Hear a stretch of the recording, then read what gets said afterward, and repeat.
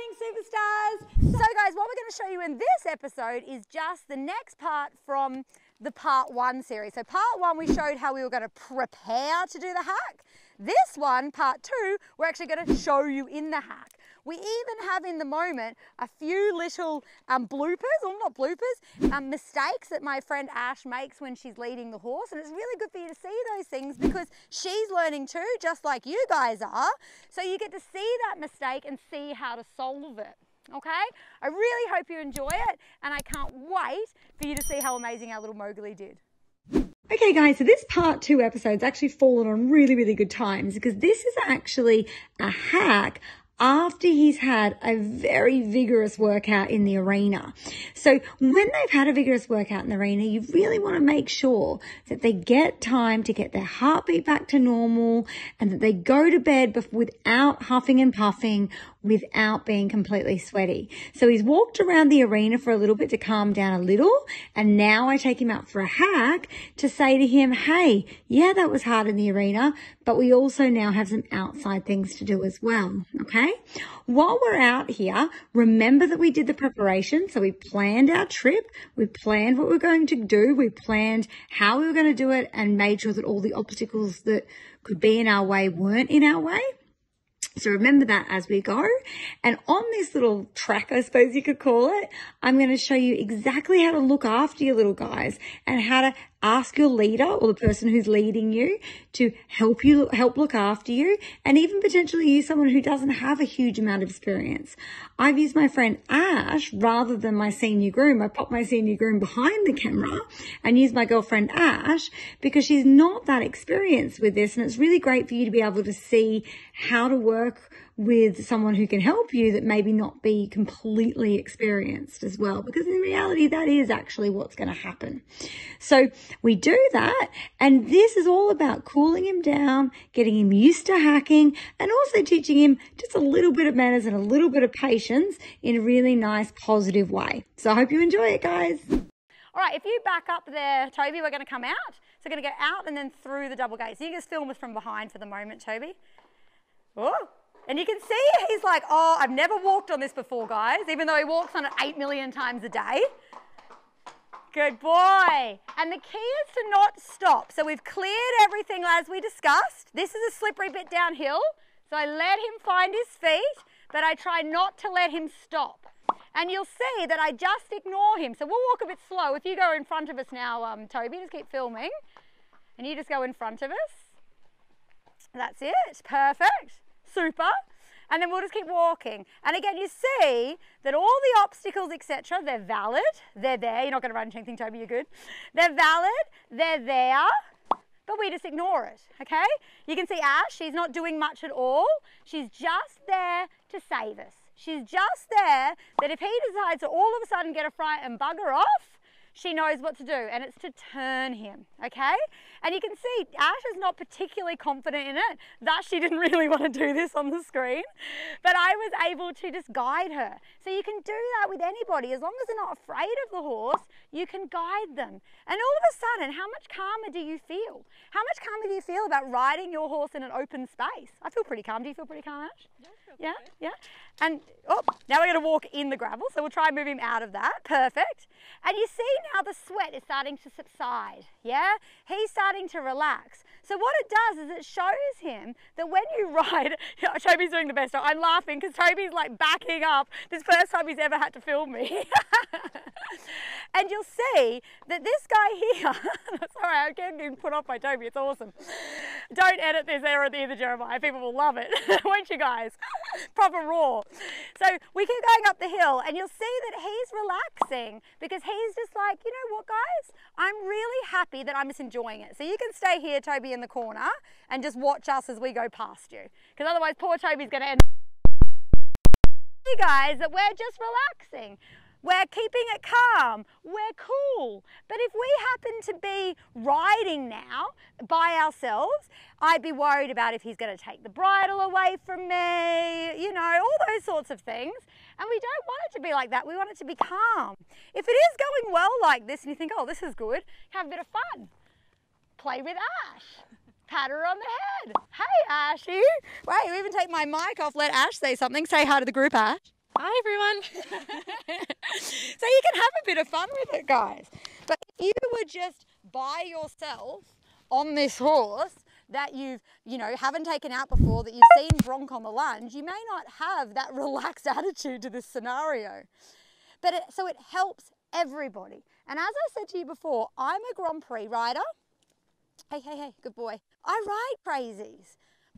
I don't, I'm not proud to let Ash take, lead me at all. There we go. Okay, Ashley, you want to turn around? So go towards you, towards that way. That's it. Yeah, perfect. Perfect. So you see again how I just communicate with my leader. My leader being, I'm the leader, you're the leader, the, the person with the lead, there we go. I communicate with the person with the lead as to what to do, okay? I'm gonna put Ashy on the speaker for a second. Give me two minutes if you stop Ashy. So I'm just gonna put Ash on for a second. And Ashy, can you just talk a little bit about your experiences as to how some bad things that have happened to you on hacks before and why maybe you wouldn't have asked to be led in the past? Um, on hacks before, I've had horses kind of spinning around and spooking, um, also kind of getting stuck out on a hack, so just all four feet planted in the ground, feeling like there is nowhere else to go. Um, and yeah, it would have been good to have someone on the ground, but I guess sometimes you're a bit overconfident. You feel like, you know, I'm a good rider, I should be able to handle this, I can take care of my own, you know. Um, but yeah, definitely having someone on the ground would be very beneficial and give you that bit of extra confidence, that reassurance that you can, you know, get through it and get through it safely. Yeah. And I think that's exactly right, guys. It shouldn't be that you, woo, it shouldn't be that you think to yourself, I should be able to do this, so I'm going to. That's how you get hurt. And that's how the horses get hurt as well. It doesn't matter if you should be able to, it's just a matter of, we'll stop here for a sec. It's just about whether you can, okay? So because he's doing so well, we have a little stop and just a hang out as well. Um, but the point is, is don't let peer pressure get you, yeah? Don't let, hey, hey, hey, hey, hey. Don't let your ego get to you. Just be smart about it. What's the downside of being led for the first time? Uh, nothing, other than come on for a walk. So now we turn towards you, sweetie. That's it. So when he gets, let turn, now go forward, go forward, go forward. Whoop, that's right. We've got a little bit of miscommunication there. That's it, super. But again, you see, if you just stay calm and talk to your person with the lead, you're okay. Okay, turn him back again. He hates flies, our Mr. Mowgley. Gets very, very upset very, very quickly. Very, very good. And then we stop again. So now you know what to do if you turn. So if you get a problem, you just turn and then go out of it, okay? So the turn is to stop the engagement of the buggering off. So now turn and then forward. Turn and then forward. Yeah, you saw that? Do you see that, guys? Do you see how that process stops the annoyance? And then you can help me turn him again. So you come toward you and then forward, toward you and then forward, toward you and then forward. Super. And then we stop again until he starts to get annoyed. And that might only be for an eighth of a step. And give him a second, see if he does it one more time. But he, now he's a bit happier. Good boy. Oh, good boy, you can handle it. Okay, now turn him. So turn and forward, turn and forward, turn and forward. So you see, we teach him to have a little bit of patience. But because it's out here, he gets to enjoy life a little bit. We'll turn again towards Toby. Turn and forward, turn and forward, turn and forward. Very good. And so you see, we're training this little guy now to have some patience. And yeah, there's flies, but guess what? They're on me, they're on Toby, they're on they're on Ash, they're on all of us, and we're not chucking a tantrum. So he has to deal with it. And then we halt again, give him a moment, and then we walk forward immediately so that he so that he he wins because we don't want to get off him soon. So we want him to have a win. We stop again. Hi everyone. We take a deep breath. That's a pretty deep breath. And then we go again. And you see, by correcting him as we went and then letting him have a win, he's happier. Look how much happier he is. We stop again.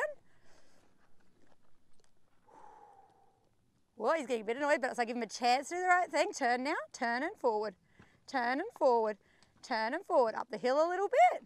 Turn again, Ashy. Turn and forward, turn and forward, turn and forward. Stop again. You just try again. And just repeat. If he does the same thing again, you just repeat. Turn and forward, turn and forward. So you see how Ash then went backward. Yeah? That's the wrong thing to do. You've got to take control, turning forward, turning forward, that's it. So that was good for you to see because Ash reacted to him a little bit and went backward. You got to lead him a bit. So you always go turning forward. Hole again. Aha! It gave in. How good's that? And what did I do? Just the same thing, eight million times. That's all dressage riding is all about, is just doing that same thing all the time. Is it valid what he's carrying on about? Mm. Sure it is. They're, they're flies and they're biting us. But as I said, they're biting all of us. So I sit here, he's doing a good job. We do one more time, turning forward. And the next time we're gonna stop and I'm gonna get off him, turning forward again turning forward. And with that mistake that Ashy did, Ashy doing a great job, guys. I didn't mean to like have a go at you, Ash. But it shows you where you can become, and hold, not safe if you let their reactions take over. The head's okay, I don't mind that, because I'm doing it too, look at me. What a genius. Then, because he's done amazing job, off I get. But still, he has to stand.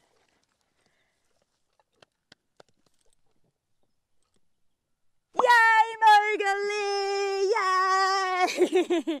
so you see, it's just about. Oh wait, wait, we've got to reward the other one too. Yay, Ashy! Yay! so you see, guys, it's just about persistence. They're just annoying two-year-olds. They are. They're just like my little kid. You say the same things to you blue in the face, and then all of a sudden they go, okay. That's what they're like. So don't get upset. Don't get angry with them. Just repeat, repeat, repeat, and let them win. Give them an opportunity to win. Give them the opportunity to go, huh, I'm a legend, versus beating them into submission and then staying still because they're too scared to move. Okay? Hey, too much. And just like your little kids, they can play around because they're babies, but there is a line, and that was his line. And you see, he's had a great ride. It could have been a tragedy. He was basically not broken in the indoor for the first five minutes, and then he was doing leg yields like a like a pro. He came out here and nearly ran over Ash. and then at the end, he's just standing here like a pro. And if you just keep this consistency, good boy, if you just keep this consistency and just keep going with the same message over and over and over, they just come to the party. And you go to a comp and everyone else's horses is flying through the air like crazy horses because some fireworks went off. And these guys are like, that's nothing. I chased a pigeon out of my indoor yesterday. and they just don't care. It's just consistency. It's just the same message every single day. I hope you enjoyed this, guys. I really hope that this ring rang home for you exactly what we're doing. And I can't wait to share with this to share this with you next week, which is going to be the canter and the indoor. It's amazing. Okay, remember subscribe, subscribe, subscribe. The subscriptions are what make the channel grow, and I really need your help with that.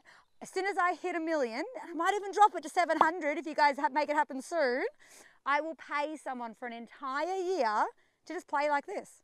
I'm going to pay your mortgage, as long as you don't have a mansion, you know, within reason. I'm going to pay you a basic wage for a year and give you a Prix St George horse and pay someone to teach you in your country so that you can do this, you can really learn about your passion. All I need from you is a subscription. So if you can make that happen, I will make that happen for one of my beautiful, beautiful followers. I can't wait to see you next week, guys. Mwah! Bye!